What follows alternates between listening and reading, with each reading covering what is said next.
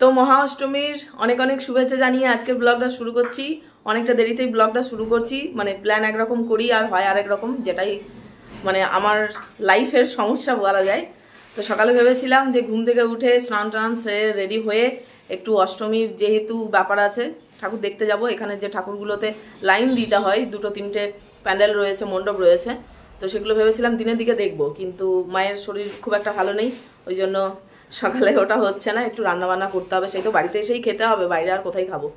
সে কারণে ভাবলাম ঠিক আছে, দিনেরটা না হলে ক্যান্সেল হয়ে যাক, বাড়িতেই হোক, তারপর বিকালে দেখা যাবে। অনেক কিছু অনুষ্ঠান আজকে আছে, এখানে জয়তারা হয়, যেটা গত বছরও আপনাদের সাথে শেয়ার করেছিলাম, সেমি। তো সন্ধ্যাবেলা যেহেতু অষ্টমী মানে পুজো হচ্ছে, সন্ধি পূজা হওয়ার পর তারপর ওটা হয়, তো তখনই না হয় বেরোবো। তো আজকের ব্লগটা শুরু করছি আশা করছি ভালো লাগবে। আপনাদের পুজো কেমন কাটছে অবশ্যই কমেন্টে জানাবেন আমার তো এরকমই চলছে?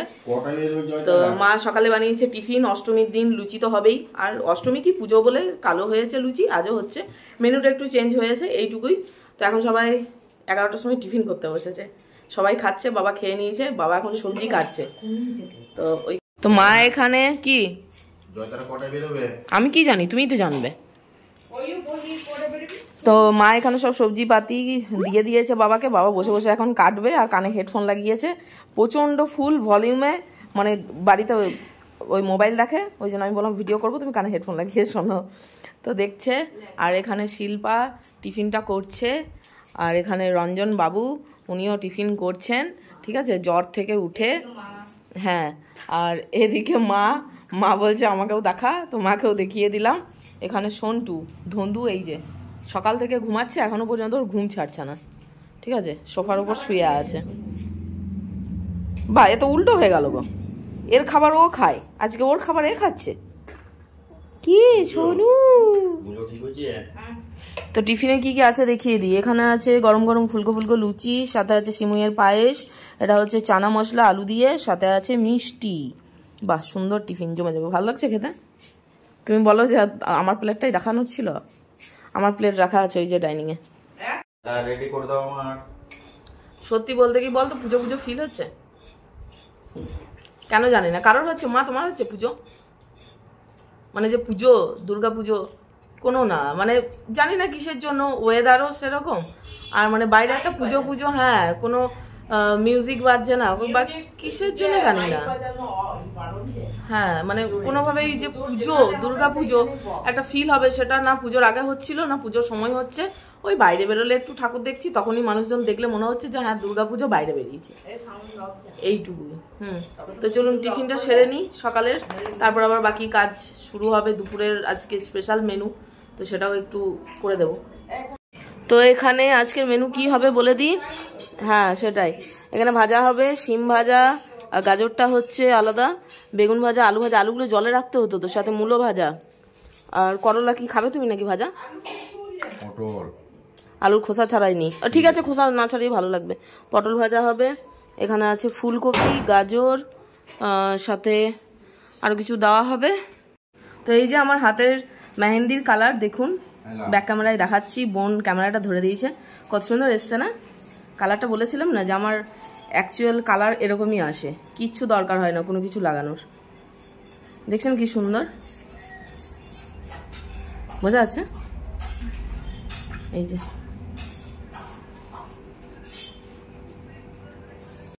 তো এদিকে আমি বললাম রান্না করব, কিন্তু আমি রান্না করিনি, মাই করছে।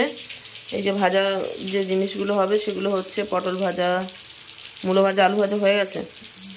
পটল ভাজা চলছে, বেগুন ভাজা হবে, বাদাম বের করে রেখেছে, আর এখানে বাঁধাকপি আবার কেটে দিয়েছে, জানি না সবজি হবে হয়তো। তো আজকের হচ্ছে অষ্টমী স্পেশাল লাঞ্চ মেনু বেগুন ভাজা, পটল ভাজা, মূলো ভাজা, আলু ভাজা, শিম ভাজা। এখানে হচ্ছে একদম জবরদস্ত, বাবারে গরম আছে। ডালিয়ার খিচুড়ি সবজি দিয়ে ঘিয়ের ফোড়ন বাদাম সমস্ত কিছু দিয়ে বেশ সুন্দর লাগছে দেখতে আহাহা। আর এখানে আছে হচ্ছে টমেটোর একদম ঘন ঘন চাটনি। উফ একটু ধনেপাতা থাকতো আরও ভালো লাগতো খেতে। আজকের নেই? না কালকে বাজারে ছিল। ও বাজারে ছিল নিয়ে? না দেখলাম কিন্তু মরা মরা। মরা মরা। কিন্তু একদম শুকনো এই দেখছেন খিচুড়িটা? আহা এই অষ্টমীতে ডালিয়ার খিচুড়ি কি ভালো লাগে। আমরা গ্রামে থাকতাম তখন আতপ চালের খিচুড়ি দিত অষ্টমীর দিনকে। হ্যাঁ। সকালবেলা আগে চাল ডাল দিয়ে আসতে হতো। দিয়ে আতপ চালের খিচুড়ি সাথে পাঁচ রকম ভাজা আর একটা সবজি থাকতো আর একটু মতো চাটনি। বেশ টেস্টি হতো বলো। ঘিয়ের খুব ভালো লাগতো। এখানে ওসবের সিস্টেম নেই কিছু। ভাই গ্রাম আর শহরে এই তফাৎ। হ্যাঁ। তো এখানে আছে দুই, তিন, চার, পাঁচ। পাঁচ রকম ভাজা, সাথে চাটনি। ওফ জমে যাবে।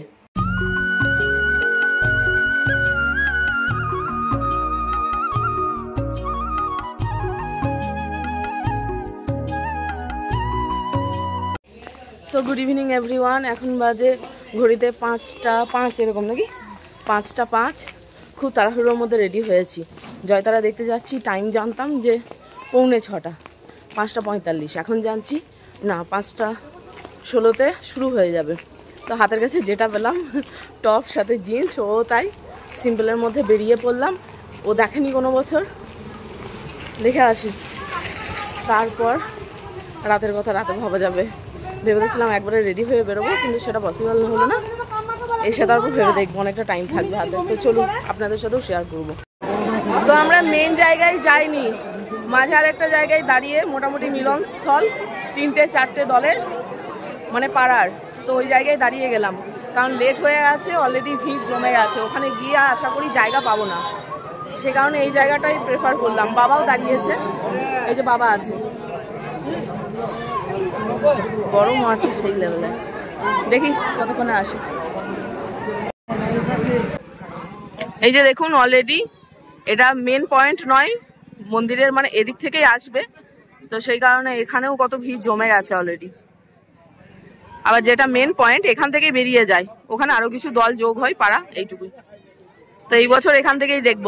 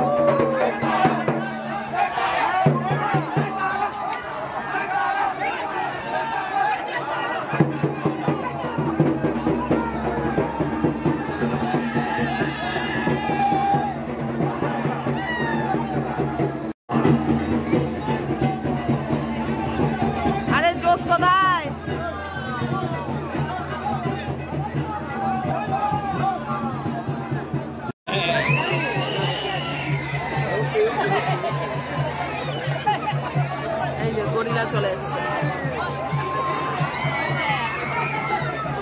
এই টাকার গাছ? আরে ভাই, সত্যিকারের টাকা লাগিয়েছে। আরে সত্যি টাকা লাগিয়েছে।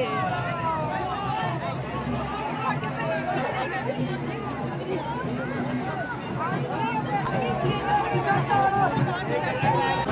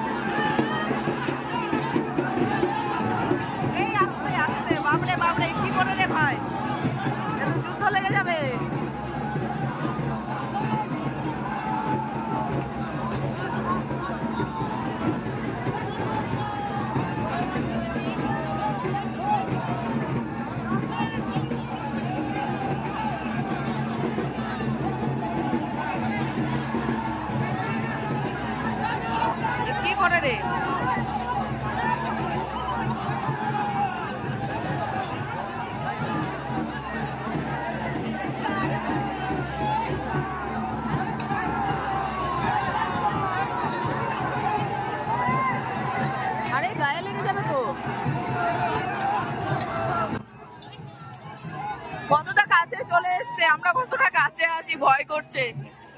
এই ধারালো সব অস্ত্র।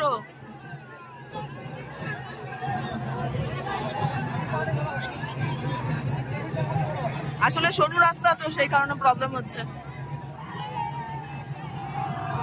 ওই যে সামনে যাচ্ছে।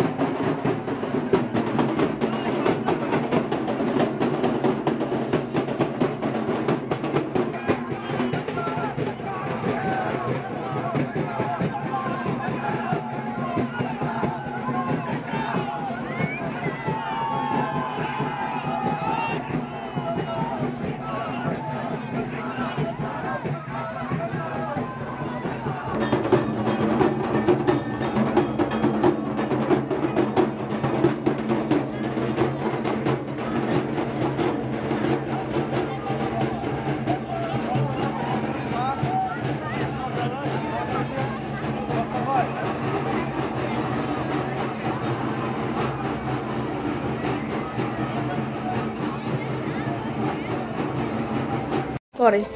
তো আমরা দেখে নিলাম জয় তারা শর্টে হয়ে গেল। মানে তো বাড়ি ফিরে গেলাম। ধর পালা এই ধুঁতুর কাপড় জ্বালাতাম না কেবল লাভ মানে? এই দেখুন। কথা বলতে দেবো না। তো জয় তারা দেখে এলাম আমি তো দেখেছি প্রত্যেক বছরই দেখি। তোর কেমন লাগল রে? দারুণ লেগেছে। না? একটা আলাদা ধরনের জিনিস কারণ এই জিনিসটা আশা করি অন্যান্য জায়গায় হয় না। কারণ আমরা তো কোনোদিন দেখিনি এখানেই এসে ফার্স্ট দেখেছি। তো আমরা যেহেতু মেন গন্তব্যস্থলে যাইনি, যেটা অভয়া মন্দির, আগের দিন ব্লগে আপনাদের সাথে শেয়ার করেছি, আর গত বছরও তো শেয়ার করেছিলাম। সেখানে যাইনি কারণ যেতে লেট হয়েছিল, আর এখানে তো দেখলেন ভিড়ে দাঁড়াবার জায়গা নেই। এখানে চারটে, পাঁচটা পাড়া এখান থেকে মানে মিলিত হয়, আর ওখানে হলে সমস্তটা পাবেন। এপাশ ওপাশ থেকে সব পাড়াটা হিলিয়ে দিচ্ছে, ক্যামেরাটা ধুঁধু মনে হচ্ছে না মেরে মুখ ফাটিয়ে দিও। বুঝতে পারলেন? তো চলুন, পৌনে ছটা বাজে, এখন একটু রেস্ট নেব। তারপর আবার ভালো একটা প্ল্যান আছে, বেরোবো। you.